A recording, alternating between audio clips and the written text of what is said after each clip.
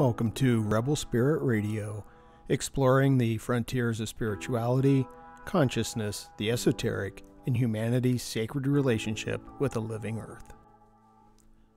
I'm your host, Nick Mather, and in this episode, I speak with Brian Cotnoir, practicing alchemist and author of Alchemy, Poetry of Matter, and the recently published Practical Alchemy, A Guide to the Great Work.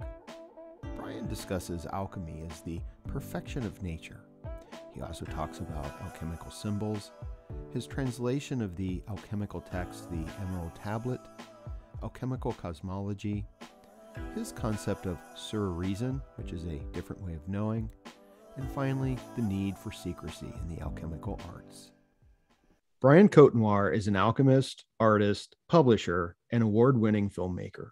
He is author of the recent republication of Practical Alchemy Guide to the Great Work and the 2017 work Alchemy, the Poetry of Matter. He is also author of a series of alchemical zines, alchemical meditations, and the Emerald Tablet, his translation of and commentary on the earliest Arabic and Latin versions of this seminal alchemical text. He has presented seminars and workshops around the world on various aspects of alchemy. Brian, welcome to Rebel Spirit Radio. Thanks. I'm glad, glad to be here, Nick. Yeah, so I'm happy to have you here. Uh, as I mentioned to you before we hit record, it's not every day that one gets to speak with a practicing alchemist. Right. Uh, right. So I'm looking forward. Well, actually, you might be surprised.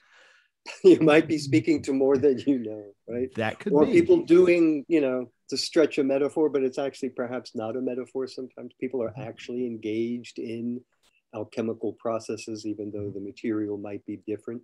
Mhm. You know, so there Yeah. is there. Yeah. Well, I know uh, the first question I have for you is what is alchemy? And I wanted to preface this, and I think this is relevant to what you were just saying. Is that, you know, I know personally the first time I ever came across alchemy was when I was in high school in a chemistry class. Right. And it was just mentioned that it was a precursor to chemistry. hmm They were trying to turn lead into gold, and it was an absolute failure Right. and I think I saw some of the wood uh, carvings, uh, the Sure, like the- chemical imprints, right? Right. Right. The Um, engravings, etchings, yeah, the engravings. illustrations. Yeah. Yeah, and then as I began to explore Carl Jung, of course, you know, Mhm. uh, alchemy is important. And in my graduate program, there's always talk about alchemy and the alchemical process. And I've noticed that now it often seems to be used as a kind of a, an adjective. You know, people say, well, this is alchemical. Mhm. But I always wonder, you know, what they mean by that and if Right. it is really connected to the ancient art of alchemy. So I wanted to ask again, you know, what is alchemy and Okay. what do you mean by it? Okay, I, I, I, think I can help unpack some of that, at least get a ground that we could talk about or any, everybody can kind of think about. So I've, for folks who aren't familiar with, I mean, thank you for a very, very lovely introduction, but just to, just to, to expand on it just a little bit is that I actually will do experimental work. Mhm. And what I mean by that, it's not that I'm like, oh, I am in here doing all sorts of things, attempting to change lead into gold it's more that I'm investigating and questioning the early primary sources and what their views on it are. And then trying to come up with or understand what they were doing and then replicate it. And then from there, get an insight into, because once you do it, they may be speaking it in a way, you end up with a result that does match pretty well kind of what they're talking about falls apart a little later on, but you feel, okay, I, I, I figured something out here, and then you try to keep on going. And so, um, so that's what I that's that's the work I that's the work I do. But my focus and interest in it is this aspect of alchemy where it discusses both inner processes and outer processes. And so this is where I will uh, give like a very general definition of alchemy. It's one I if anybody's ever been to a talk of mine or something, they've heard this a dozen times, thousands of times. But so how I how I define, and this comes from from the work I've done reading texts, and it, it's a it's a, a modification on something uh, a Swiss alchemist Paracelsus had said. And basically, how I define it is that alchemy is the art and science of bringing something to its final perfection. Okay, so there's a lot of terms there that need to get defined, mm-hmm. but you can you can basically fill in anything in those slots as to what that thing is, what that art is, what that science is, and what that perfection is. But what it implies is that there is this sort of a realm of rawness to a well realm of doneness, you know, mm. uh, something that's imperfect brought to perfection. So what that would mean, like in the definition, like you had mentioned, oh, lead into gold right? Uh, in natural philosophy up until you know 17th century really um, it was viewed that the metals are all one thing just on a spectrum hmm. right that there's this root called mercury and how it interacts with sulfur uh, in the earth what planetary influences uh, what the quality of the, the matrix the earth was would determine would it be lead? Would it be tin? Would it be copper? Would it be iron? Would it be silver or gold? The more balanced those elements were, the more perfect the metal was. So that's what an alchemist would do, right? We would dig into the earth, find a metal at its certain state, and go, okay, I will bring it to its final perfection. If you think of it in terms of um, sort of the Western traditions of religion and spirituality, the idea of ascent to the one, uh, union with God, uh, these ideas implied within alchemy also because that thing can be the soul. So it's the process of bringing that soul through these stages to its own perfection, whatever that might be defined as. And then the idea of perfection has in it um, ideas of something being finished, being done, being completed. Right? It's the perfect tense in, in language, right? It's, it's done over with back then. Um, and it's also the idea of, you know, it's how we often use it's perfect. Hmm. You know, it's like you don't want to do anymore. And then if you think about it in the creative sense, um, it is actually one of the harder stages in the arts is to know when you are done you know if you're painting you know you go like okay just what no because you take that one more step you just destroyed it and one stroke will destroy the whole thing mm. so it's this balance of okay what do we mean by this and then the art and the science is just that it's like medicine in a sense you use both of these um, ways of engaging the world scientific and artistic right medicine in the sense of clinical experience. You know, I've seen many of these things, even though, you know, evidence-based practice says statistically and the science says you do this in these cases. However, case comes to you and you go, it's not quite fitting, but from my experience, so it's this kind of an idea that you use all ways of knowing, intuitive, all these types of things. And then it's tested in the world. And that's the thing with alchemy. Okay. It's like you can say all this stuff, but then there's a 17th century uh, Latin phrase, uh, per ignem, by fire. You said you made this. Let me have some. Let me see. Talk about peer review. Yeah, sure. yeah, it's, yeah. Uh, it is. It that's the idea. It's that mm-hmm. you, there's no there's no bullshitting here.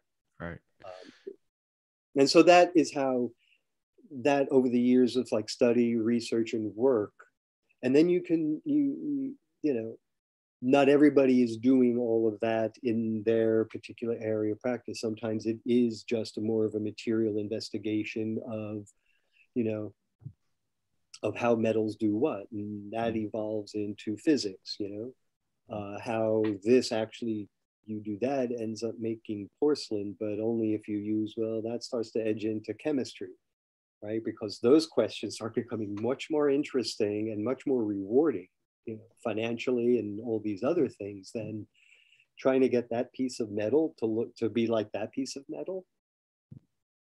You know, not not as I like to say, not with vinegar and um, you know salt. you know I mean? Right, right. The concepts are there, Right. right? Where like it becomes, you know, kind of things build up into larger structures, and our experience is that, you know, we call them atoms, subatomic particles, these types of things. Um, Mhm. But the idea of taking what's underneath, recombining, rearranging would, would have a surface effect. That's, I mean, Newton was the first uh, physicist, last alchemist, and Right. Robert Boyle was the last alchemist and first chemist. Yeah. Uh, And Newton was far more interested in alchemy, wasn't he? Oh, his his the majority of his writings are alchemical, I believe. I think I think it's either the first or the second. The second is his uh, anti-Trinitarian writings, Hmm. where were his writings in theology, which it's I don't know. I think about this. Uh, you, if you if I, if do some reading or watch a good documentary on Newton, the Right. is a piece of work. Yeah. It'd be like I can't imagine him having a job anywhere today. Do you know what I mean? It's like he is so, he's just so wrong on so many ways as a human being. If you know what I mean, when you read his biography, like auto, like not his auto, but his like what his biographers have to say about him, it's just like, it just goes, you know, good for the plague years. Good you stayed in your room. Glad you worked out the math. you know, just stay away from, from the people. A- yeah. So, so, so he never got to that perfection stage. No, no, no. In a certain in a certain level, yes, but um, but wow, I, I'm just sorry. It, it just every time I think about it, it, it just you know, he was really not a nice person. I mean, it really comes right down to that. It, it was just uh, mean. Pe- One of my just as a little, you can do what you want with this. Uh, was that you like he invented calculus, right? Which to me is just like wow, somebody invented a whole new mathematics, right?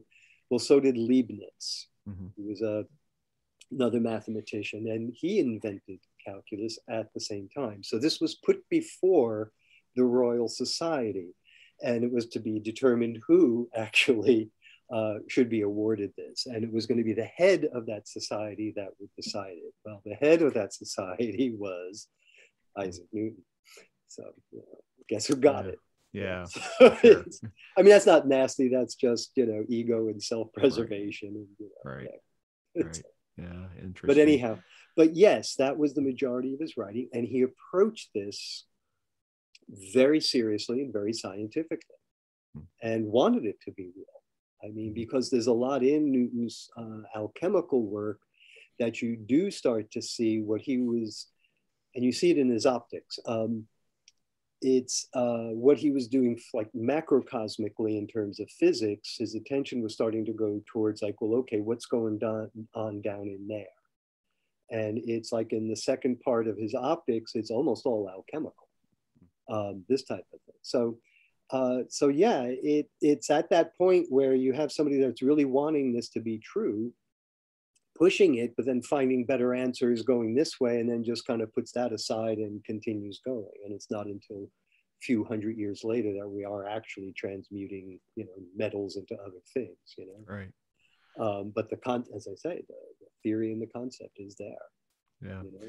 Can uh, can anyone truly achieve perfection, or is it something that is kind of Define it ongoing? you know? Define it low enough, yeah. Yeah, yeah, well, yeah. uh, but is that but is that perfection? You know. uh, well, uh, this is this is uh, what do we mean by that? Exactly. Right, this, is, right. this is this is all in my mind.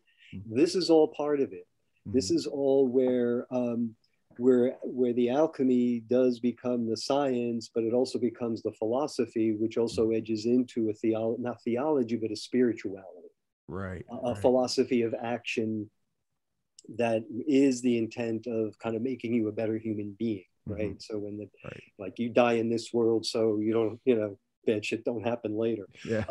basically is the idea Right. Right. so it does open up into that Um, you've said a lot of things that I want to touch upon, and I think that one of the places I want to begin, and this is sort of where I am currently. It's what's on my mind, but it was your comment that alchemy takes different ways of knowing. oh yeah uh, this idea of different ways of knowing. And it's something that I've been thinking about a lot uh, because, you know, I, I teach religious studies. I've got my backgrounds mm-hmm. in religious studies. Mm-hmm. And now I'm doing this podcast on spirituality and esoteric and everything. Mm-hmm. And mm-hmm. I share some of this in social media, and there's always this sort of backlash from rationalists who immediately equate uh, spirituality with religion and nonsense. Mm-hmm. And okay. in your, uh, well, eh, in the uh, Poetry of Matter book, mm-hmm. you discuss this and you come up with this term. Uh, I don't know if it's your term that you coined or you got it somewhere else, but it was Sur Reason. Yeah, I, um, I kind of made it up. Maybe others have used it. I'm not claiming to be unique, you know yeah. what I mean? But yeah, well, it's the only word I could kind of come up with that I was trying to grasp at. It's not yeah. just a form of intuition. Right. Yeah. Well, I really like that because, you know, reason is important and it Absolutely. helps us, and we can't get by without reason. But yet, there are these different ways of knowing. You know, in, intuition yeah. is important. Um, you know, feeling is important, and sure. symbolic knowledge is important and right. it's not inherently irrational and so i exactly. like so i exactly. like that you gave that that that sort of third way of looking right. at things. Right. Right. Yeah. and that's that's that's really it. You you with alchemy in my reading and study of it it's it there's just a lot there's a whole lot going on. And either conscious strategies of communication of working with image and text to kind of suggest things in between um, some of it does seem very conscious in the sense of like i'm doing this workshop on uh, splendor solis which is this magnificent uh, 16th century manuscript. I don't want to call them miniatures because they're not miniature but full page if, if you've seen them you've seen them. They're they're they're, they're striking. But there's a way they work with the image where it has a you can go okay there are the colors that signify processes in alchemy. There's something here that process this is an alchemy. But then you realize it's actually a quote or illustrating a quote from a myth mm. and that if you go and look up what that myth is talking about it's about entering the underworld and returning from the underworld how do you do that right so here's what I'm saying is that I can't prove this, but yet when the whole book is doing that, right? Each time you go and you see a certain, and it's a reference, it's usually something about going to or coming from the underworld, right? So you say, okay, well, maybe there's something going on in this book that's speaking about uh, the inner life or our own underworld. But it's the way it does it if one were to approach this as encoding or a hyper like a rational way of oh here is text here is image image is illustrating text and text is elucidating image it really doesn't quite work that way here's like it, it's kind of related but here's a way i kind of illustrate it in terms of sort of like art science reason what have you and it's this idea of a stereogram and I, I think i mentioned this in the book as well uh, an stereogram is an image when looked at with both eyes and put together, it appears as a 3D image. So you can describe an alchemy has often been described as, well, it's about the physical world. It's about changing lead into gold, making transformations, working with salts, coming up with really good stuff that we can use. There's another view of it that says, well, no, it's actually um, all analogy, more metaphor for the perfection of the soul, uh, and, and all these things. And you read the literature and you could read it, you go, yeah, this is about changing metals and doing that, right? And then you could read the text, they go, well, no, it's all metaphor. And you read it and you go, oh, I can understand that, right? So both those texts are kind of correct in their own way in that own reading, much like two images in a stereogram. If you look at one and you go, that's about, you know, oh, a dog in a field with kids playing in the background with, you know, what have you. And then you look at the left one and it's not much different really. Would you go, but it's saying it's about, and you go, okay. But when you put those two images together, right? It's a whole nother experience. It's a whole nother experience you can't quite describe to someone who is only one-eyed. Um, it's this idea of, of, of 3D vision that all of a sudden There's more information there. There's more to be said about it. There's more to be experienced there. And so my question always is, is then, okay, which eye is more important? You know, which eye are you going to? And my idea of like a kind of a surreal, a sur reason is that that's the process that kind of gets you there, right? And then what you're perceiving is that perception that you get from bringing all these ways of knowing together because you want that rational, you want that scientific, you want that, you know, kind of like logical kind of working. That's sort of like your a matrix in a way, a framework that you can sort of stand on. Uh, while you stand away from it to take it apart, sort of a thing, you know. Yeah. Um, I, I, it's and that's the idea. And, and in reading, um, and this isn't like this idea of like all ways of knowing is what you do. This is a seventh century alchemical philosophy. It's called Way of the Philosophers. Uh, Stephanus of Alexandria writes about it. It's like what you do is you take every perspective you can take, right? And then what you do is, uh, he doesn't say it quite like this. It's like you try to find, you try to resolve the contradictions and find the luminous center, mm. right? But you can only do that if you take take everything, you know, mm. all the perspectives, and then kind of try to work with it that way. And that's what I feel like a real full sense of alchemy does, right? Mm. Um, in its fullest, biggest, most kind of, you know, practice in its best way in all aspects of it. And you see that from time to time in some writings. Um, particularly in the early work, some of the Greco-Roman, some of the Islamic, where it's like there's a practical, but it's very mystical at the same time. And you mm-hmm. know, they're really doing stuff, you know. And a lot of it is based around medicine, also, literal mm-hmm. medicine. Right. Uh, with a lot of the Sufi work, um, it was about, like Jabir ibn Hayyan, it is it, it is about medicines. It, mm-hmm. some of it is almost just like purely like chemistry.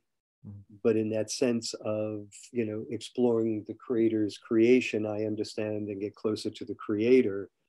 That's yes. all good.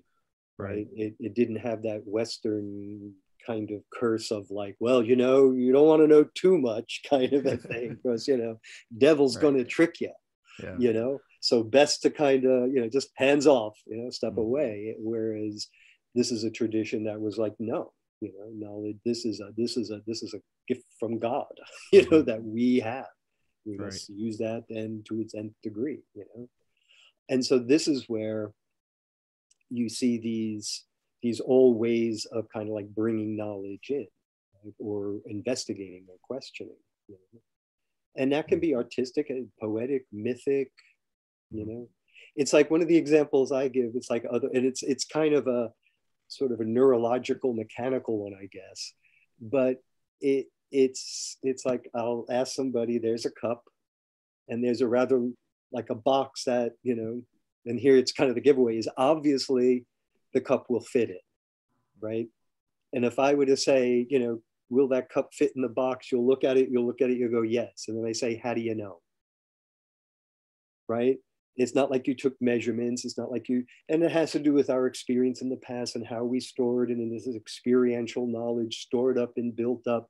But yet there's also this visual thing of a size assessment and distance. It's these are all sort of like in here many ways of knowing. So it's kind of right. a material metaphor for that, but it's very much like that. You know, yeah. Of you know all of it. Yeah. Yeah, it's you know it comes to mind uh, with what you were just saying, um, and I'll move on from this in a moment. But it is this idea. I you know I come across this a lot, uh, you know, with students, and I look at it at myself too, and of course strangers on social media. Is that there's this tendency to just view everything from one sort of worldview Yes. And anything that doesn't fit into that worldview, you just reject automatically. Right. And it seems to me, based on what you were just saying, is that, you know, we have to expand this worldview mm-hmm. in order to achieve transformation. Because if all we're doing is going around with these, you know, worldviews that blocks out any other ideas, there is no room at all for yeah. transformation. right yeah essentially exactly yeah. it, it, it yeah. it's like i don't know you just i mean this is also something i've come to through my kind of creative work in film or mm-hmm. working mm-hmm. or even not even i i'm putting too fine a, a shine on it calling it creative work in film just even like television like working on a show for you know say I don't want to give any name, but just like a television thing, right? Not the highest end of what have you, but there is this kind of um, between the editor, producer, what the client wants, what the intermediary, and then even like the the assistant. At some point, everybody's got different points of view on it, and you kind of want to hear from them. Mm-hmm. And this is where all of a sudden something you were thinking was so clear. All of a sudden, someone go, "I don't get that." It's like, what do you mean you don't get that? It's obvious. And then you look back at it, you go, oh no, it's obvious to me because I know what it's supposed to be. Mm-hmm. you know what I mean? And I yeah. fill in the blanks, but you didn't. Mm-hmm. And you get these perspectives on stuff that just, it's a better way of moving. It's a better way of kind of, if you're involved in a creative work that's collective, you know, more eyes on it not always the best as long as you got someone who has a strong point of view who's like kind of guiding the ship so to speak but you really want to hear from like how everybody is seeing and understanding something. It just makes sure. things stronger. Yeah. So that as an analogy it's that same idea um, you know the more views you have on something and it's not like you're trying to show that i mean think of the idea of the wolf right? And then you go wolf right? And then you then okay it really is an animal first of mm-hmm. all right? And then you go all right well let me learn all i can about what that animal the wolf is. Then you go okay well what are some of the myths? What are the other animals that depend? And you start taking it from all directions and this is really what it's about. And whereas one may say one thing all of a sudden it, it's a it's a that idea of that fusion of all these elements into this deeper 3d sort of perception right, right and it's not like oh that's wrong and that's right. It's like and it's not like oh well everything is right. You know it's not right, right. you know what i mean? Yeah, yeah, there's this kind of a fuzzy center where you get like all these perspectives are mm-hmm. contributing to it you mm-hmm. know? If that makes any sense whatsoever. Uh, well i think so. I mean you know what it brings to mind are a couple of things. Uh, one is the power symbols. You yes. know the the wolf is a symbol. And it seems to me that sometimes we have lost our symbolic or many people have lost their symbolic imagination uh, mm-hmm. that there's this kind of literalness you know sort right. of like this idea that well the alchemists were just trying to turn lead into gold and right. that completely misses so much and it does and it misses i mean when you look at this alchemical artwork it is clear that it's not just about turning lead into gold you know right. there's something right. going on there and right. it's mysterious and yeah. uh, brings up all sorts of emotions and whatnot mm-hmm. exactly. Um, and so and i wanted to ask you about the the sort of role of symbols in mm-hmm. alchemy mm-hmm. and uh, some other things but um, the other thing I'll get to, we'll come back to this, uh, but I'm just going to say it now so I don't forget it. Sure. Is the uh, with what you were just saying is this idea of interconnection. Oh yeah, uh, yeah. yeah. That's at so, the heart. That's at the yeah. heart of like the the alchemical theory is yeah. this idea of everything is interconnected. Yeah, but we well, can dig back into that uh, if you yeah. want to follow up on what you wanted to go with first. Well, we can. Uh, it doesn't matter. I'll just I'll say that um, we'll either come back to symbols or come back to the wolves and interconnection. But one of the things that comes to my mind with wolves are a couple of things. But mm-hmm. one is uh, there's this amazing video. It's a very short video that I have students watch sometimes, uh, and uh, we watch it in conjunction with I have them read uh, from Aldo Leopold, "Thinking Like a Mountain."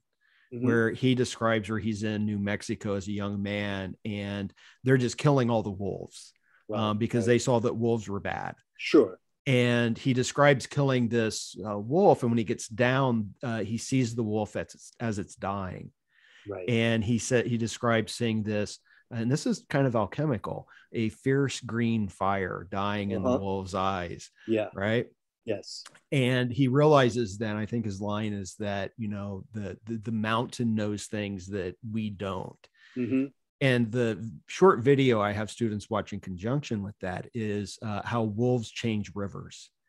And it was about I've the read about this. yeah, it's how the wolves were, I think it was Yellowstone, that they were reintroduced to Yellowstone. Right. And it completely changed the ecosystem and to such an extent that it changed right. the flowing of the river. And right. had to do with the deer eating Yeah. green Yeah. and that they were Yeah. afraid to eat as much or something Yeah. like that. So they were very quick in what they did Mhm, and they kind mhm. of grew and then it shifted.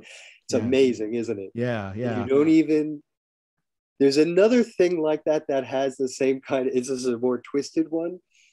Um it was like when bike sharing, right, started in Amsterdam, right? This is like, I don't know what, 20, 30 years ago or so. All the bicycles were started to be found in the canals and they couldn't figure out. And it wasn't just like one, it wasn't two, it seemed to be a concerted effort to get, to get rid of the bicycles. Hmm. And the city government was like, who, who, who doesn't want this? Like, you know, it was like hard pressed. And who it turned out to be were the people who were in the business of stealing bicycles, refinishing them, and then reselling them. Hmm.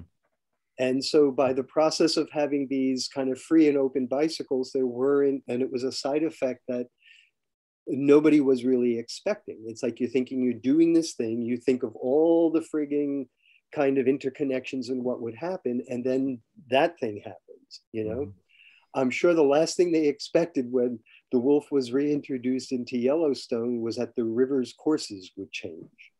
Right. I mean, it's just like, oh, okay, wait a bit. But then when you say it and you go, well, think about it, this to that to this to that. Mhm.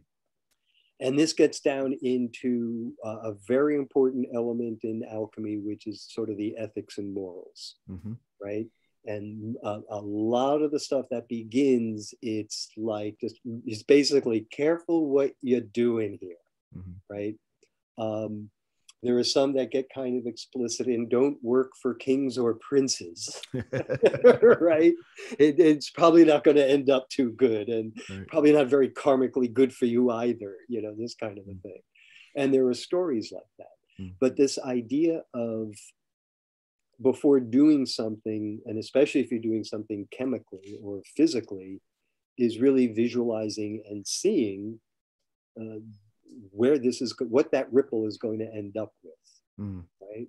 Uh, there's a there's an alchemist, uh, Manfred Junius, who died in the early two, 2000s, um, who didn't do much work with mercury or heavy metals, although you know he, he did stuff with it, uh, because he said it was just he said just too karmically risky, Hmm. meaning that it's a very poisonous material, and uh, where are you doing? How are you disposing of it? What what you know? you've got people living next to you, you know this type of a thing. It's like okay, fine, you want to pursue this, but really, what are you pursuing? Hmm. And so it's it's these ideas that are extraordinarily important. And um, I don't know how that came up in the cover, but it was in there, and it was just Right. something that. But it is it is important because um, you'll see it alluded to. Why is this kept secret? Right? Why do and this ties into some of the symbols, as a matter of fact. Why do you use?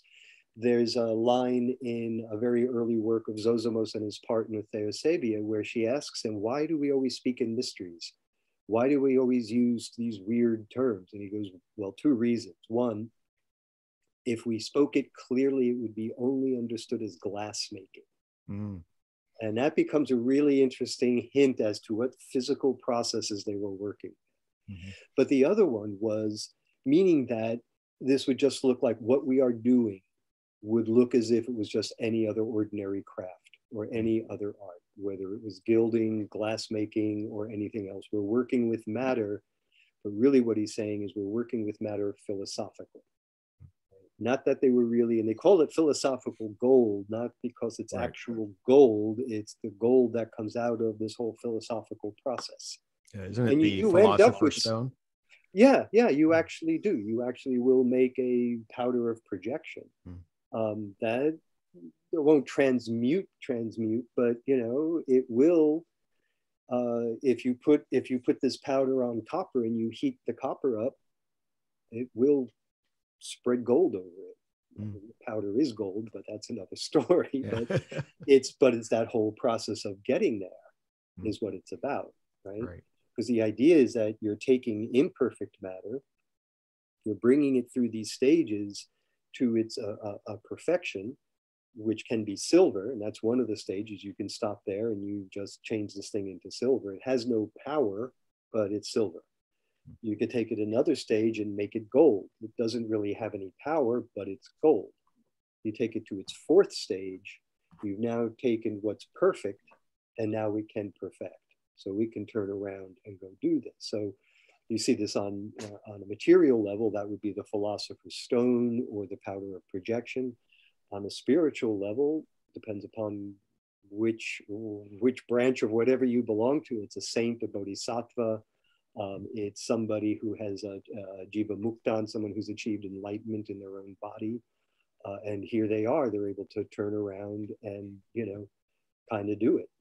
Uh, as opposed to go, you know what, I'm good, I'm out of here. Where's where's the pearly gates? Let me in, you know. Uh, someone getting there going, you know what, I I I, I got uh, hold hold my place. I got friends. I'll be back. You know, that kind of an idea. And that idea, in a, in a spiritual sense, is what's being implied in this material, mm-hmm. right? That that's what's going on here. And um, to the symbol aspect of it, and this is what it's trying to show is there are these. It's it's not so much kind of showing you a secret process, so to speak. It's showing you the changes is what is how I feel about it. And then you have to figure out, well, okay, if that's happening there, how, how, do, how do you do that with these materials? Um, so you find it both trying to reveal uh, when they make these things, they're, they're, it's a, it's a way of exploring what you're doing and trying to verbalize the processes you're engaged in materially, right? You, you, for an example, just to kind of give it something concrete to hold on to, baking soda and vinegar, right? You put those together and you get this frothing and all this stuff. You used to make soda vinegar rockets, this type of mm. stuff, right? Well, we've all had basic high school chemistry and we go, oh, it's an acid and a volatile, you know, a, a salt that lets a lot of carbon dioxide loose. We have a language for it. We could describe it. We could reproduce it. We can do it. If you've never seen this before, how would you what would you how would you describe this well it's something and it's acidic so it's something biting burning right and then something that's just bitter and salty but yet when you put them together there's this incredible violent reaction. Stuff happens and then it's neither acid and it's neither bitter it's this other thing. How do you explain that right? So if you look at these alchemical images of two things kind of fusing into a half a two thing and then a one thing, um, you see it as this attempt to explain unification of opposites. Right? We could explain that in chemical terms. We could even explain that in biological terms. We could explain that in, you know, alchemy had one language, and this was that of there are these systems. It seems to be working here. These two things come together. They get, they lose their individuality, and a third comes. You know, well, we see that with mammals too, right?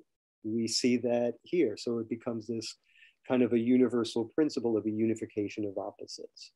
So that's what some of the alchemical imagery is doing. It's it's stating its theory, right? To others around, to edify as well as the show off, I know what I know, and so this is why you should do it.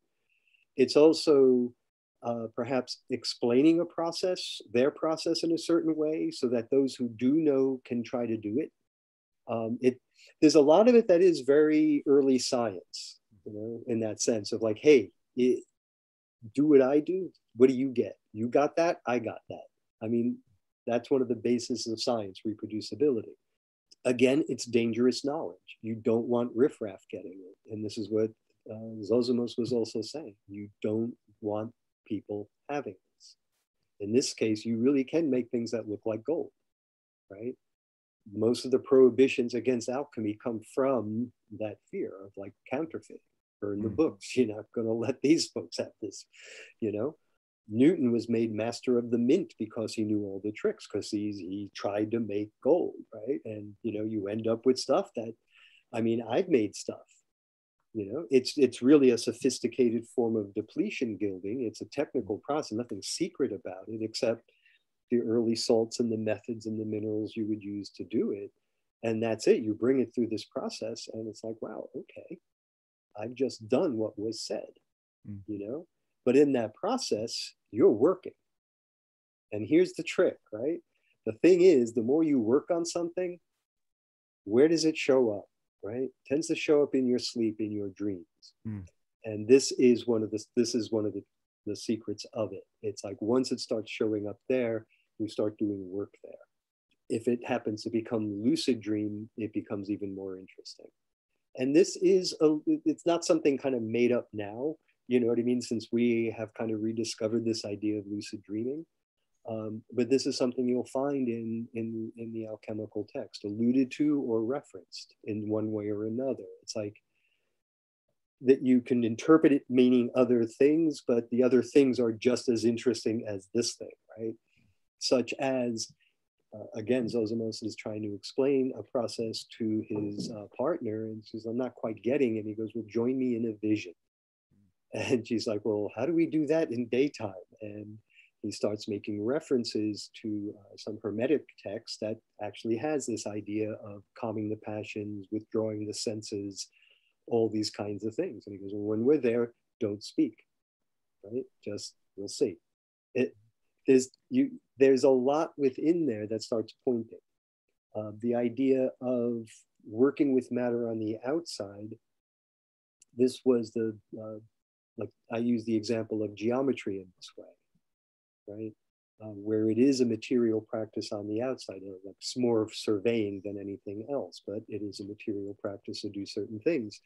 And for the Greeks, Greek philosophers, Aristotle, all of them, geometry was a way of purifying the the the mind's eye, right? Yeah, didn't Plato? Of, yeah, yeah. It's just like if you do this, you you actually start seeing it in your mind's eye. Yeah. Right? Yeah. And the interesting thing about that is that a geometrical form triangle, it's like a dream, mm. right? In, in the sense that it has a concreteness to it, but it's not real, mm-hmm. right? There's, but yet it, not unlike a dream, it follows very distinct and very, very strict rules as to what it can do and what it can't do. Mm-hmm. But once you can start playing with that in your head, right? It opens up a whole nother world. And this is what this is what you see in the theurgic kind of material, which is where a lot of the alchemy starts to come from and the inner alchemy comes from. Right. Um, yeah, because that's something I wanted to ask you about as well, because I know uh, we haven't really talked much about the history of it. Yeah. Um, but I know that alchemy is deeply connected with hermeticism and Absolutely. i think gnosticism yes all and it. It, it the western esoteric and the magical traditions as well right as it yeah. kind of in various periods of that tradition how it right. erupts right. into it and how it's sure. understood exactly right. yeah. but that's that's it like a uh, just a brief outline i mean it does what we would call alchemy, this idea of something being able to be transmuted, whether mm-hmm. it is a philosophical gold or the idea of actual transmutation, um, really does have its west, like the West has its origins in Alexandria, the, the, the mm-hmm. Greco-Roman. You don't really find much talking about metallic transmutation and what little there is in ancient Egypt, right? They're master metallurgists, but you don't get a sense that they're believing that they're changing one metal into another. Mm-hmm. Right? It's just like uh, they know what they're doing. you know what I mean? They're masters at it. Mm-hmm. So it's almost as if like that technology and spiritual practice, whatever was remnant in, you know, like second hundred AD, 200 AD, what have you, uh, in terms of uh, authentic Egyptian religious practice. But you also have the influx of, of Platonic thought within, mm-hmm. but more Neoplatonic. And then you have the writings of Hermes, you know, which seems to be sort of this authentic blend around 200, 300 BC of, of quasi Egyptian Greek merging writings and stuff. Yeah. but all of this has uh, a root in alchemy. I mean, alchemy has its roots in this. So it's it's sort of like a metallurgy out of Egypt. Um, uh, uh, this syncretic philosophy evolving out of that through the Greek Neoplatonic and its own whatever visionary kind of thing that comes out from whoever's living there, if you know what I mean. That's lost, you know, whose name is lost, but yet kind of move things along. Um, but I would say for alchemy, one of the things is, is uh, this idea of theurgy. Um, and particularly uh, Iamblichus uh, because he was more working with uh, matter, right? He was saying that the divine is everywhere. It's, it's immanent in everything. And the idea that, well, remember how the gods used to walk with us? Remember all those stories? Someone would be walking here and Hermes would show up. How come that ain't happening no more, right? How come no one believes this? Uh, you know, God had become this, you know, totally separate, transcendent being uh, over the over the period of time within sort of Greek thought and uh, and Plotinus is a Neoplatonist. They're all attempting to unify and send to the one and be you know, this type of a thing. And Plotinus is more, as I like to think of a, of a Zen approach to stuff. He, he's just like, it's almost mind only. You know, how do you, how do you achieve all this? He says, is just cut everything away. Whereas the Iamblichus is like, well, no, the divine is immanent in everything. And if we can assemble this by making statues, what have you, we open up a channel. And by opening up this channel, we can begin this ascent. And the channel is by connecting with the various gods, deities, or what have you. But it's this idea of assembly, of like bringing material together. And this is where it relates to this idea of, of symbols right? Because this is what it's like alchemy is viewed as that. It's kind of bringing matter together, but they view matter as, as symbolic as well. It's symbolic of its own being. This is going to get trippy, but we'll kind of slow down here. Um, and this is what it's trying to do this idea of everything is interconnected, right? So say you're working, you're, you're making a talisman, you're making a symbol that involves Apollo, let's say, right? The energies of Apollo. They view the world as, okay, let's just say an energy of Apollo, which is like the sun. But if if you think of it as a particular, I hate using this word because it's so friggin' vague, an energy of, of mm. what have you, but just think of a solar energy, whatever that might mean to you, right? And what they would what they would see is that energy on a plant level would show up or manifest as a sunflower. Right? In the animal world, it would show up as a rooster or the lion. In the planetary realm, it would show up as the sun. In the mythic realm, it would show up as Apollo. So the deeper sense of it is there's this something else that has this quality, but when it interacts with these various fields of creation and manifestation, that energy manifests in a certain way, right? So the planetary, it's the sun. In the earth, it's gold, hmm. right? In the human body, it's the heart. So this is how it sees this sort of interconnection. So what Iamblichus is saying and alchemy is saying is that if you bring enough stuff together, right, it's like sulfur wanting the flame, as he says. It's like it's enough to cause that spark to come. And with that, you've animated a statue. You, you brought this thing into its other thing. And at that point, whatever mystical, magical work you're doing is now accessible.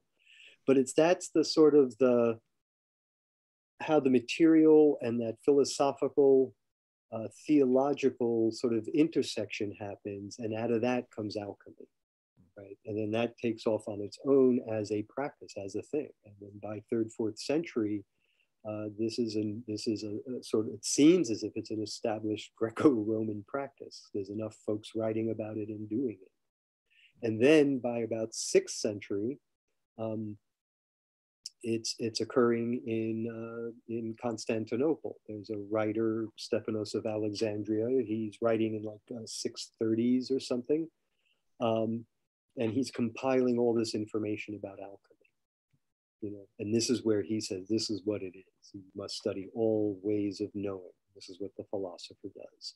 And then through mystic words and actions, one starts to understand the unity. Right. And that's, it's like, well, that's it. You know? But it, it, it, it, it that's where it really kind of you see all aspects of this alchemy together. Now, the yeah.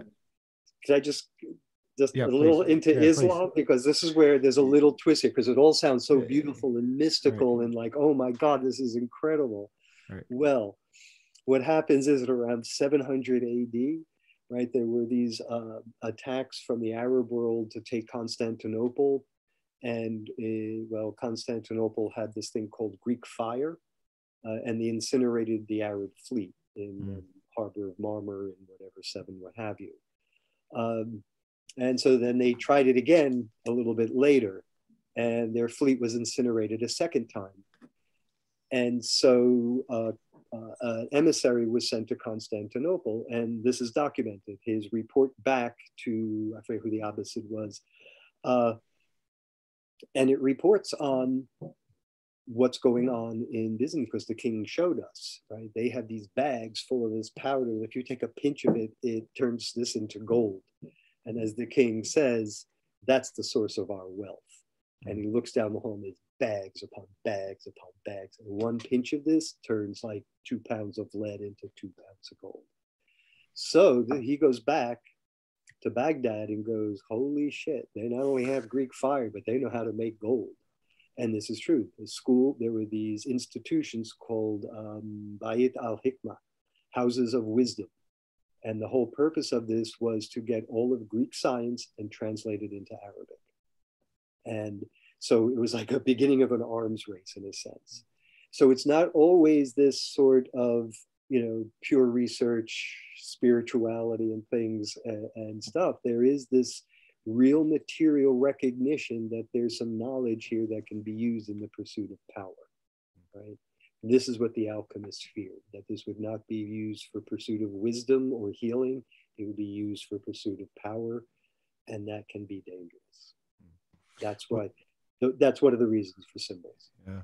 Well, I wonder if the translation of all these Greek texts into Arabic, I know that I always tell students that we owe Islam a huge absolutely this debt is... of gratitude because they're the ones who preserved you know exactly. math and the greek philosophy and so it would have been at that time right yep exactly. Yeah.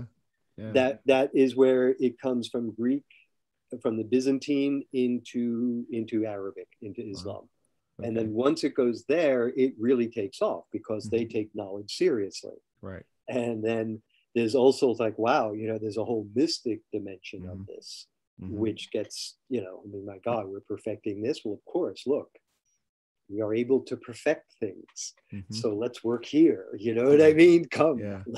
let's do yeah. a let's do a remembrance you know um, so it, it ha- and then it develops but it's also the medicine this is the mm-hmm. other thing is that right. is of like in almost all of this it's the pursuit of that it's like mm-hmm. yeah the, the gold is really important um, but it's constantly you know kind of like probing for how this does and that's a very interesting thing to trace. Uh, because you do follow um, you do follow the, the discoveries of medicines and the entry of alcohol, for instance. Right. Right. That's like through Sicily, 12th century, right? And uh, came in through the Arabs, and two two doctors are there. I like, holy shit, what's this? you know, they, right. what does this do? And this is the elixir. This is the quintessence, and um, hmm. changes everything right. and that becomes a secret knowledge how do you get yeah. the quintessence you know right um, um I, I, let's i want to talk to you about yeah, the yeah, medicine sure. but i do have uh, a question in regards to the sort of the spread of alchemy i also mm-hmm. know that there's an alchemical tradition in india oh yeah and there was also one in China. Oh yes, yep. yeah, in Tibet as well. Tibet. Mm-hmm. Did they have the common source, do you know, or was it something that emerged kind of within those cultures? My feeling is is that they emerged in their own proto ways, okay. right? Because it's just humans interacting with matter, trying to make matter do what it wants, right? Mm-hmm. Whether you're forging, you know, arrowheads or you right. know swords, what have you. Right. There comes a common reaction to the materials you're working with. So through metallurgy, I think. Yeah. so there is a yeah. Yeah, there is a um, there is a sort of a direct kind of experience we have with it. So I feel mm-hmm. that at at source, it's individual cultures kind of interacting and coming to ways of understanding things. Mm-hmm. And then there are the transmissions that go on because, you know, I mean, once the Silk Route gets up and running, uh, I mean, it's like, okay, who's, and then the fact that, uh, you know, Alexander the Great made it to, you know, to, to, to what is Afghanistan, the whole Gandharan culture. Um, I mean, that's like, you know, our the images of Buddha were never images before Alexander. It was just the eight auspicious, and it's uh, you know god Apollo that is the, the image they took from it. And this is 300 BC, right? Um, so it's you know there is there is that you know uh, there's a great deal of similarity, but at the same time, um, just the metals and the materials that are being worked Mm-hmm. Mercury and sulfur. That's I don't want to say that's everywhere, but that's everywhere. I mean, throughout Europe, you can find it, um, and they're both strange materials that do strange things and are very useful. And so there is an independence to it, but there's also, as it goes on, it's hard to say there's no there's no cross ideas. It, it, it becomes really hard to say that there is a um, in John Needham's Civil Science and Civilization in China. He's like three three volumes dealing with alchemy in China, mm. and he discovered a text um, that is very early but parallels uh, the Emerald Tablet. Mm. Um, and his, he, he's not, yeah, I'm not claiming this is the source. I'm not mm. claiming that who's saying from where. We don't have real kind of firm dates on any of this, but take a look, folks. What do you think? Yeah. You know, and there's the language. Right. At the same time, it's the language of like if you sit at and look at the world, you go, oh, water evaporates, it condenses, it comes down. You know, mm-hmm. you know. Uh, you know, cows and bulls get together, they make baby cows. You know what I mean? There's there's a kind of a commonality that where it mm-hmm. draws from. Right. And so I think at heart there's a lot of that that still remains. Mm. Right? that has its power because of that. There's something kind of almost primal about some of these things that's played with within alchemy, right? And, which I do think adds to a sort of a power of some of these images that they do touch on stuff that we think we know, but we can't, we don't have a language for. And again, as I was saying, sometimes intentional, sometimes that's just the nature of a living symbol it comes there and you know it's trying to tell you something yeah, right.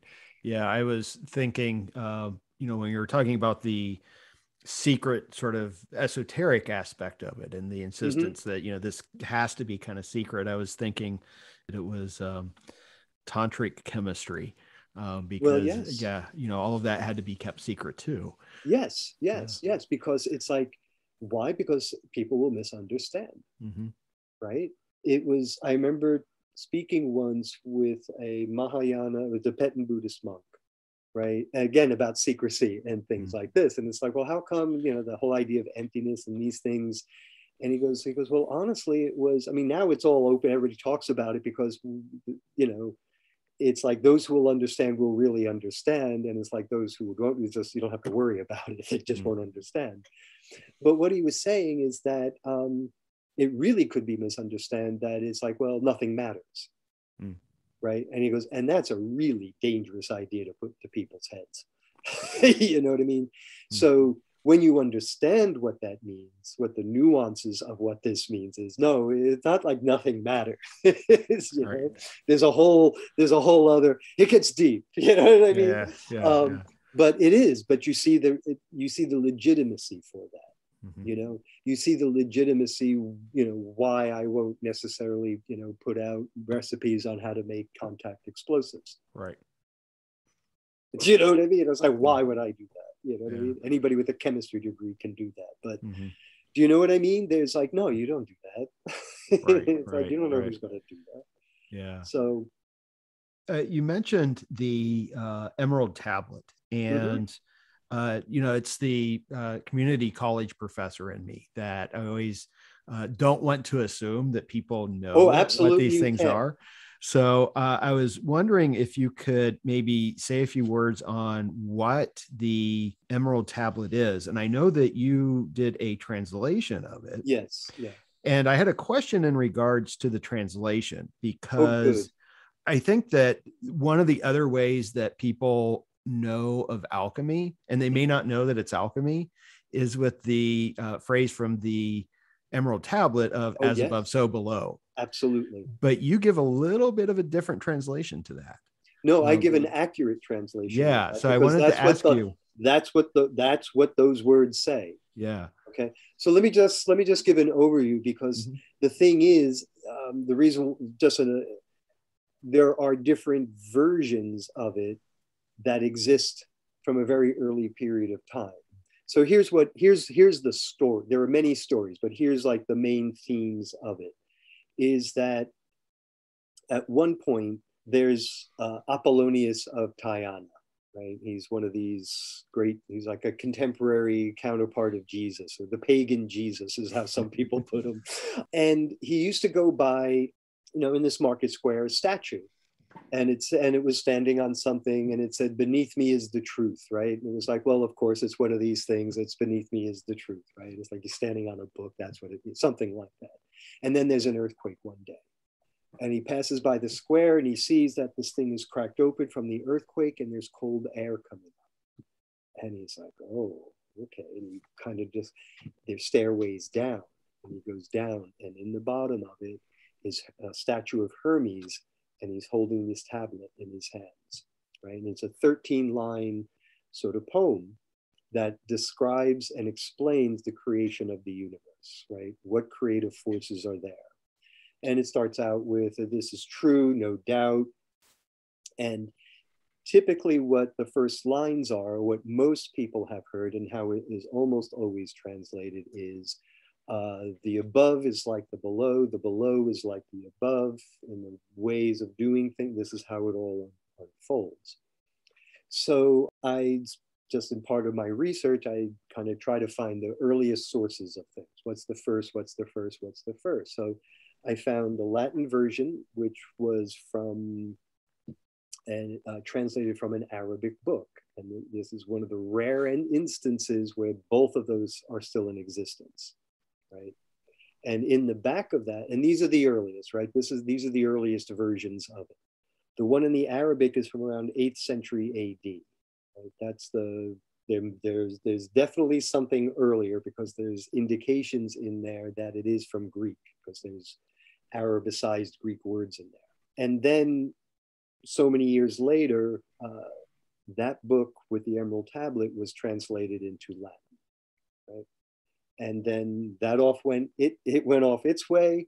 And then no doubt somewhere along the line someone else came across an arabic uh, version of uh, the emerald tablet and then translated that into latin. Now some of the things that happened well before i get to that uh, so the arabic version in here has this idea of that the the first line is the above comes from the below. And the below comes from the above. So, what image this sets up immediately, or what it's describing immediately, is this circulation, this unending circulation. And this is what it does fit in with a hermetic worldview of like the world constantly creating, destroying, creating, destroying these, these sorts of things that are going on all the time. Right. So this is one of the dynamic creative processes of the universe. And so it, it fits in and so and that is exactly what it says because uh, my understanding has always been as as as hmm. um, I, I, I studied Latin for, for several years, had, had to work with tutors. And as I'm translating this, I'm saying this really does say from. And he's like, yep, it does. That's exactly what it says. And it's like, okay. And as I was doing the Arabic, um, studied that for a year and then worked with a tutor, came up, you know, did the translation. And I said, it really says that? And he says, yeah, that's what it is. Min, it means from. It's like it's There's, there's no other. I said, what's as or like? And he goes, well, that would be ka, or, or, or, or you know, the, there's another uh, possible preposition that would be used, but not, no, this is from. It means it came from there. I came from here. He came from here, that's what it's used as. You know, where are you from? Um, this kind of an idea. So that was like a, a kind of an eye-opening kind of an understanding because it was no longer just a simile. It was no longer a metaphor. It was actually describing a physical process, right? This is coming, this is a circulation. And knowing that circulation in practical alchemy is alchemy. Right? If there's no circulation, you're probably not doing alchemy. And at that time, exactly at that time, as I'm working on the translations, I'm giving some workshops on very basic alchemy, distillation, these sorts of things. And I'm trying to find something I call urban alchemy. Like, what can you do in your kitchen in a, in a tiny New York City apartment, but you still want to experiment, these kinds of things. And there's a, there's a circulation device uh, from like the 15th century that it's just a jar with a cone in it, right? And the idea of circulation is something heats, hits, heats a cool thing, it condenses and drops back down, reheats. It's like percolation. If you put coffee in there, you, yeah so it's this so i was experimenting with like something really easy somebody can do at home right get a martini glass cut the bottom off put it in this jar heat it up put ice in the top and so i'm watching this i'm i'm, I'm this is literal i'm i'm at a table i'm working on translations. I i already realize it's saying from from from. This is i'm like this is really cool because it kind of lines up with this.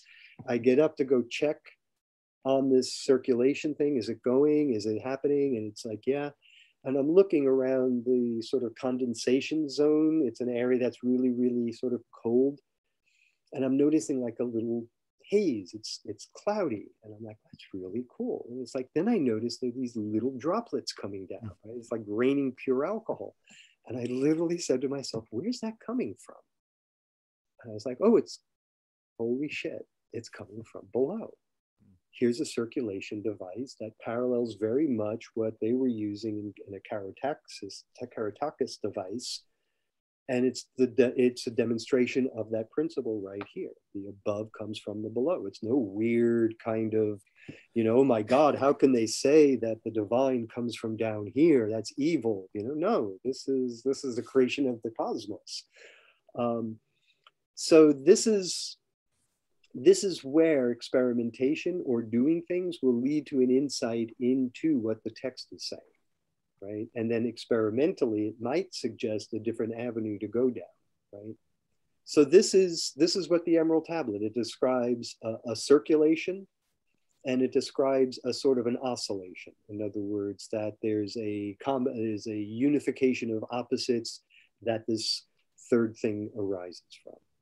And then the other key concept in it is that not only is this the way the universe is made, this is the way the work is done. Right? So whatever patterns are there, but drawing that out further, it's also saying how everything is created, any creative act, right? And that's where this is like the, as I said, the, the, the intersection where some of my interests are is in that, is in how any creative act starts to mimic sort of alchemical processes in this way. So that's something I've been kind of thinking about and, and, and exploring. And it's something for a way for people who are interested in alchemy and involved in art or making of anything to start to engage in alchemical thought, right? And especially in the sense of stuff moving inward, having a dialogue with the material, having a dialogue with your creation. And this is what alchemy is. It's like what's going on in the flask yeah is, hear alchemists going isn't that exactly what's you know yeah is that what you mean in the uh, on the back of alchemy the poetry of matter uh, it says it's an alchemical book rather than yeah. a book about alchemy yeah yeah uh, there are things and it, it, it asks you to engage it asks mm-hmm. you to it's not so much like I don't know puzzles, although there mm-hmm. might be some. Yeah. Um, it's right.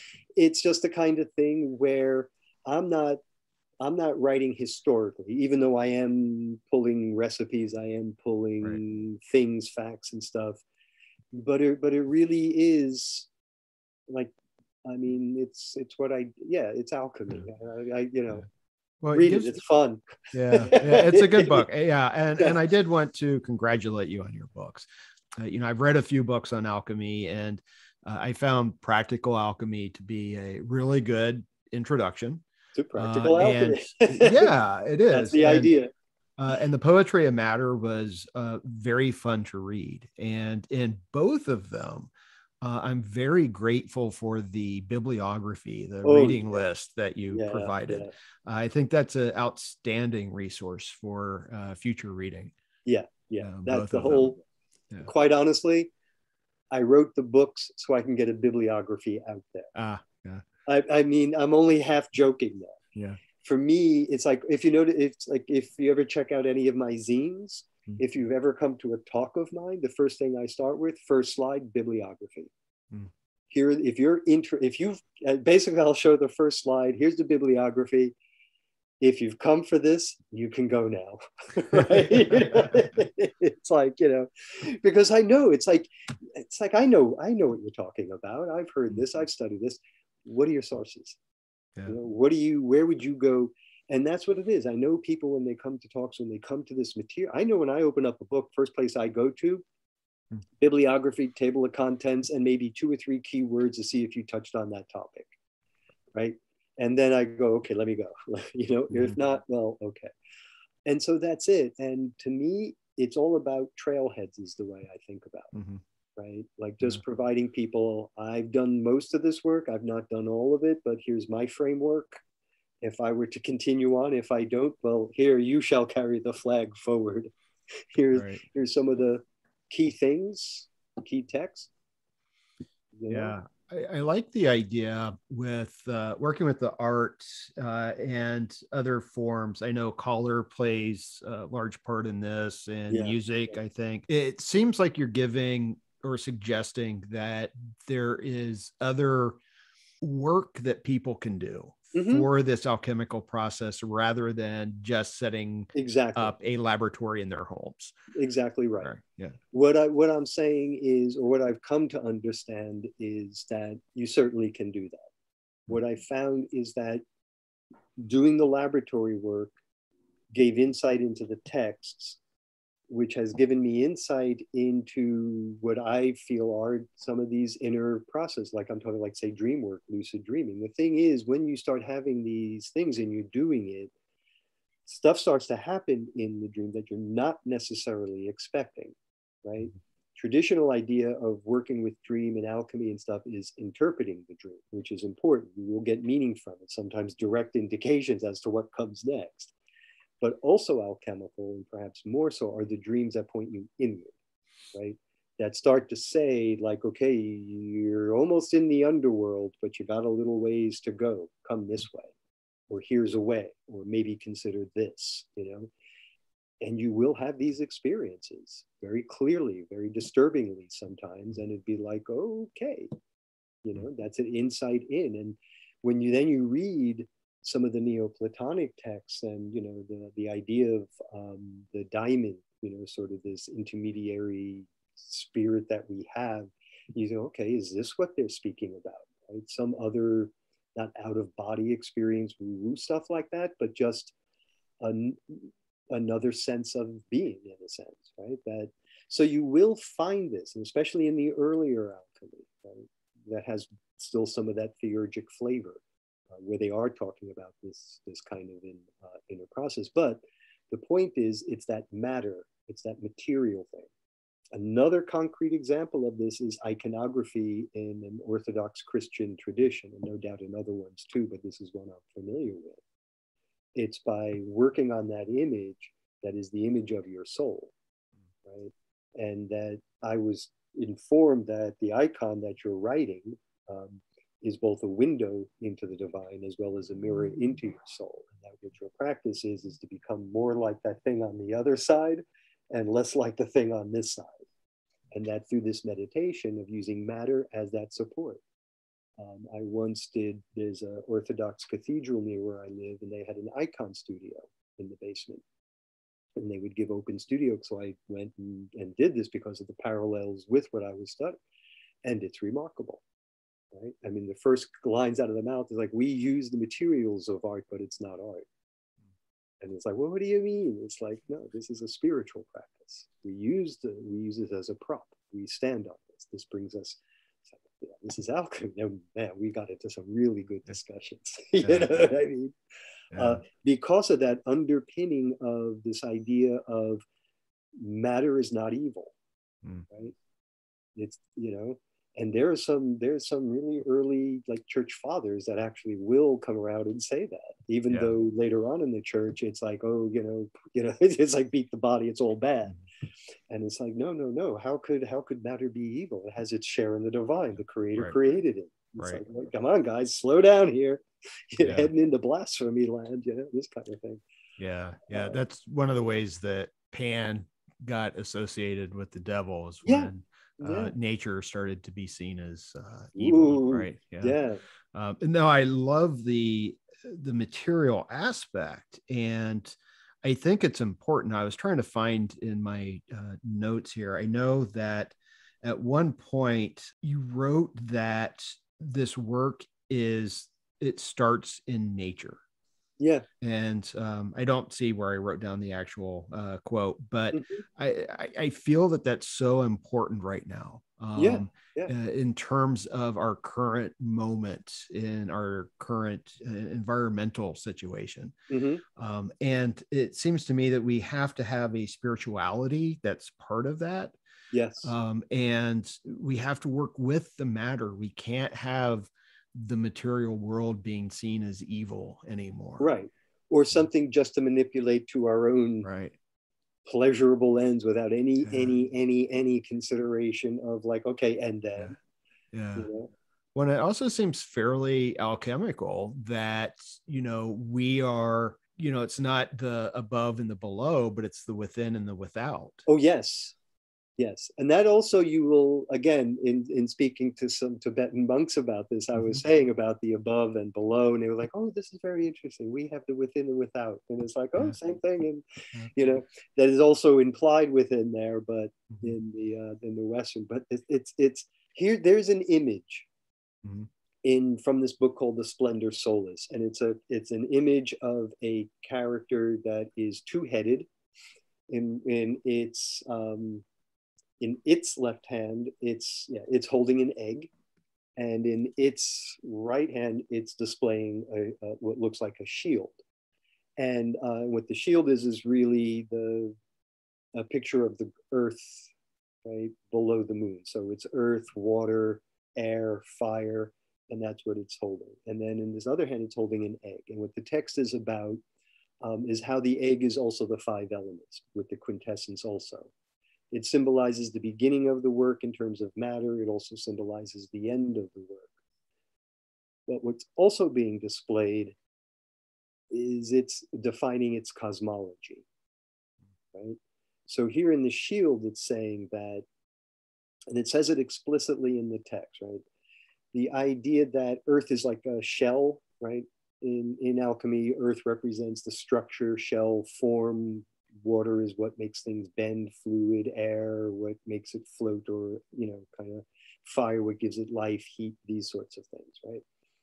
So with the shield, it starts with earth, water, air, fire, and then goes out to the ether, right, to the quintessence. And the shell is just the opposite. It starts with the earth, right, water, air, fire, and then in its center is the quintessence symbol, which is the uh, the embryo, I guess. So what this image is showing or displaying is that our existence, our material existence, is just this thin, thin, thin, thin, foamy film between two eternities, right? Between two quintessences, right? So you could start where you are here on the material thing, and you can, quote unquote, ascend, and you would ascend through earth, water, air, fire, quint- you know, and so on and so forth to the one. And the same with alchemy. You can just you can descend, and this is another way I define alchemy: is it's ascent through descent, right? By descending into matter and going, what's what's next? What's next? What's next? After a point, it just opens up to another eternity in a sense. So this is, um, you know, this is part of. I don't know where that started. I don't know where that ended up, but somehow I had to say it. Yeah. well, I think it's important, and yeah. and I, I, I like it's this worldview is what it yeah. is. yeah. Well, and I like the the sort of cosmology that you write about. So there is that connection, um, the flow between the mm-hmm. above mm-hmm. and the below. Everything is linked. Yeah. And it's also a symbolic right. cosmos. Exactly. Um, yeah. Exactly. Yeah, where I live, it's pretty cool. Yeah. it sounds like it. I'll have to come visit sometime. you should. You should. Yeah.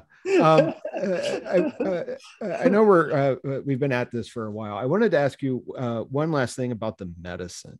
I kind of oh, want to sure. go back to the medicine. Yeah, yeah, yeah, yeah. Because I know one of the things you do write about is that it's not just in the laboratory settings. It's not just working with minerals and stones, but also with plants. Of course. Uh, and so you can develop tinctures, and then those can be mm-hmm. used for medicinal purposes. Right. Right. Yeah. So the idea there is, is is is exactly what you just said. Um, that what you would find has you would, for the most part, use a plant as a medicinally you would then give it a uh, extract a tincture from it, it salts, these types of things, and then make an alchemical tincture. And the idea of which is it has all the components in it and it's uh, more potent. That's the idea. I don't want to get into how to make it. Yeah. it's just like yeah. buy the book. Yeah. Practical Alchemy gives all the recipes.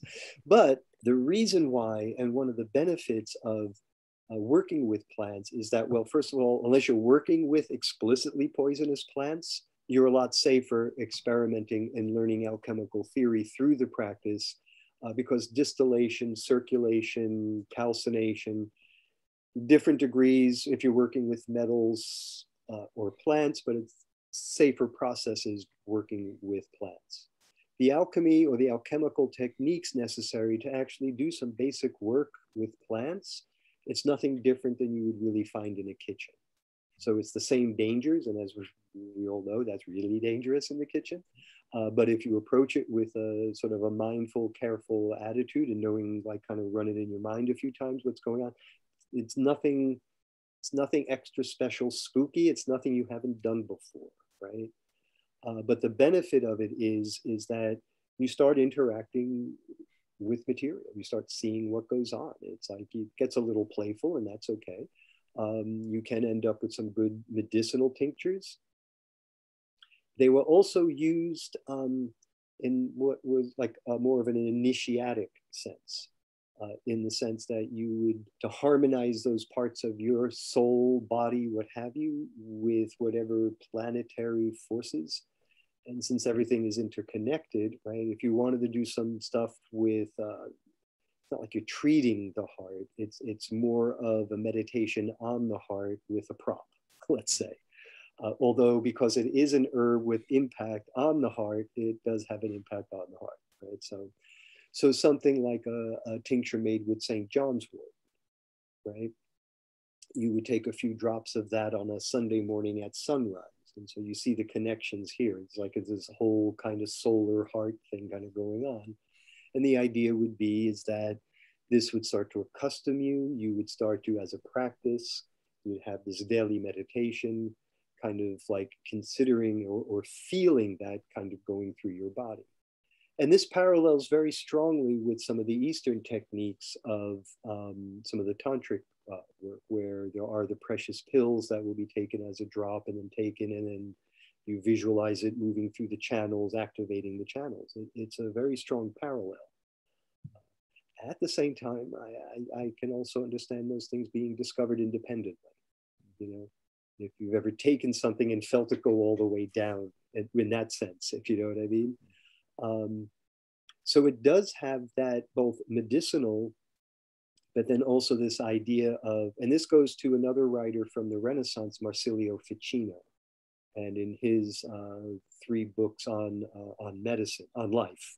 In his third book, he gives all these processes for harmonizing yourself with the planets. And he's not talking magic, because he keeps saying it's like, well, as you go out into the sun to get some nice, mm-hmm. healthy sun rays, you know, you will step out and do these things to draw the rays of Venus into you, you know.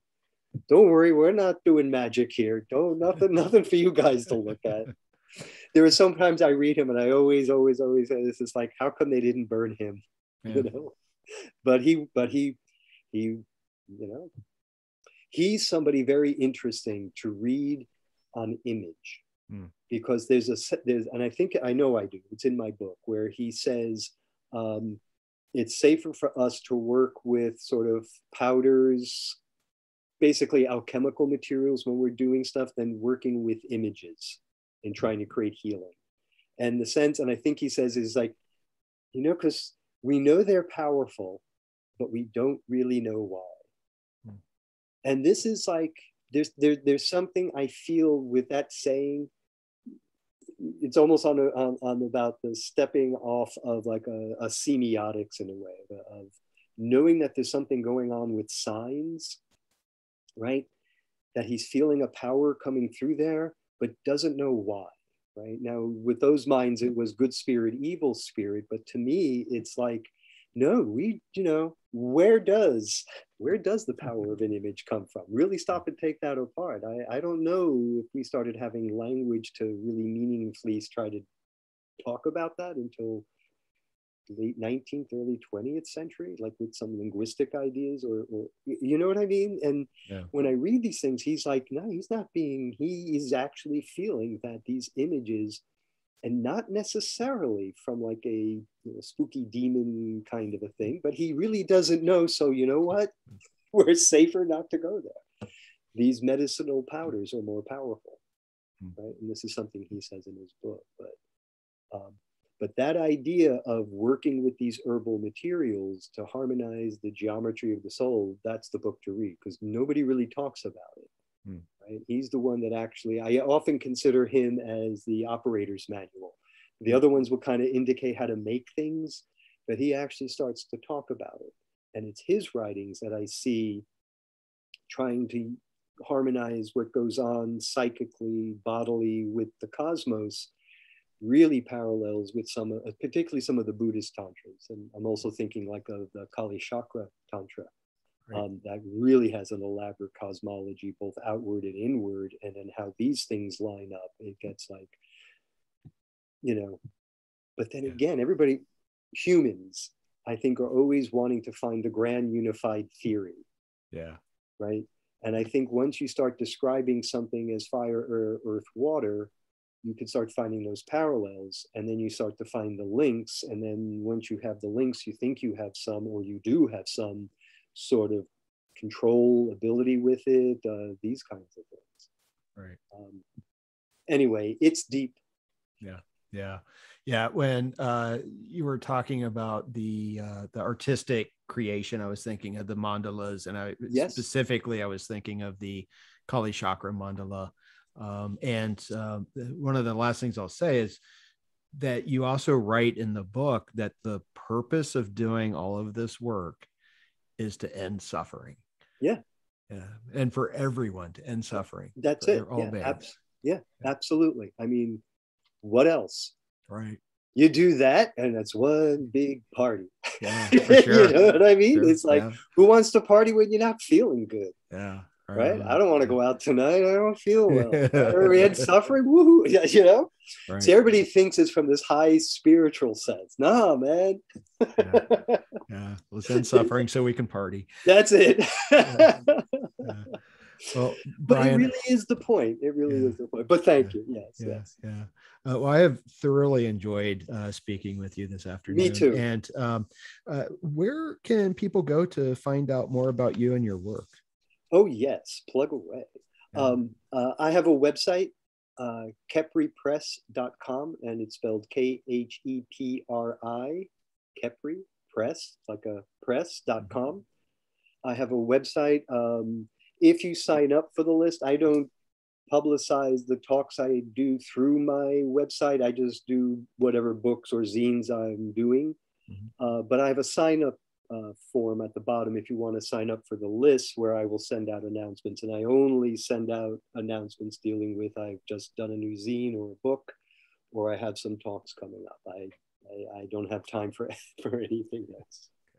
Well, I'll I'll put the link for uh, Press in the uh, show notes and in Oh, the great. uh, Yeah, video yeah. description on YouTube as well. Oh, that'd be great. That'd be very, yeah. very helpful. yeah, and absolutely. this has been really good. I've really enjoyed speaking with you, Nick. yes. Well, I And enjoyed should it you too. find yourself in New York City for real, give me a shout. We'll go have a coffee and just wonderful. continue on on a you know Yeah. non-recorded basis. Yeah. Yeah. Yeah. Well, ma- hopefully Slip we you will some be- recipes. Yeah. There you go. uh, yeah. Hopefully we can speak again. I would enjoy Yeah, that very yeah. much. anytime, All right. anytime. All right. All right. Well, thank you, Brian. Thank you so much. You have a good night. All right. You too. And that's a wrap on episode 17 of Rebel Spirit Radio. Thank you so much for listening or watching if you are part of my YouTube audience. If you enjoyed this podcast, please make sure to give it a positive review on whatever platform you use to listen to podcasts. Your reviews really are a tremendous help. And please subscribe.